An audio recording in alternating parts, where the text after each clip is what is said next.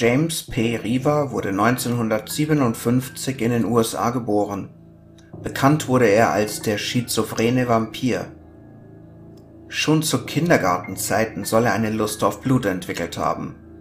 Er entwickelte die besessene Vorstellung, seine an den Rollstuhl gefesselte Großmutter sei ein blutsaugendes Raubtier, das ihm nachts das Blut aussaugte seine psychischen Erkrankungen brachten ihn 1975 bis 1978 in eine psychiatrische Anstalt. Er malte grausame Bilder und begann auch Tiere zu töten und deren Blut zu trinken, bis er schließlich am 10. April 1980 auf seine Großmutter schoss. Getroffen warf sie ein Wasserglas nach ihm und er drückte erneut ab.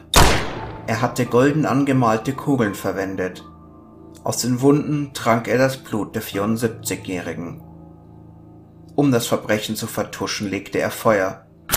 Es gilt als sehr wahrscheinlich, dass sie zu diesem Zeitpunkt noch am Leben war und somit im Feuer starb. Als man ihn schließlich bereits am folgenden Tag festnahm, er hatte sich der Festnahme gewaltsam versucht zu widersetzen und ihn mit den Vorwürfen konfrontierte, plädierte er auf unschuldig. Im Verlauf der folgenden Wochen erklärte Rivas Mutter, dass ihr Sohn sich schon seit vier Jahren für einen 700 Jahre alten Vampir hielt.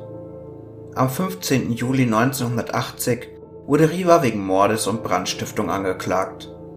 Am 30. Oktober 1981 wurde er wegen Mord zweiten Grades und Brandstiftung sowie zweier Körperverletzungen zur lebenslanger Haft plus 19 bis 20 Jahren wegen Brandstiftung verurteilt.